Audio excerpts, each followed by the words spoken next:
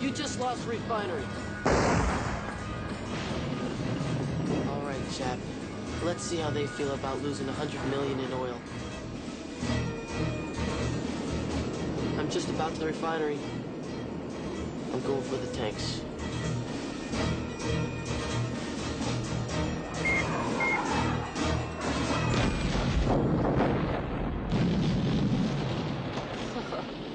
I wish you could see this. Looks like there'll be important oil this year.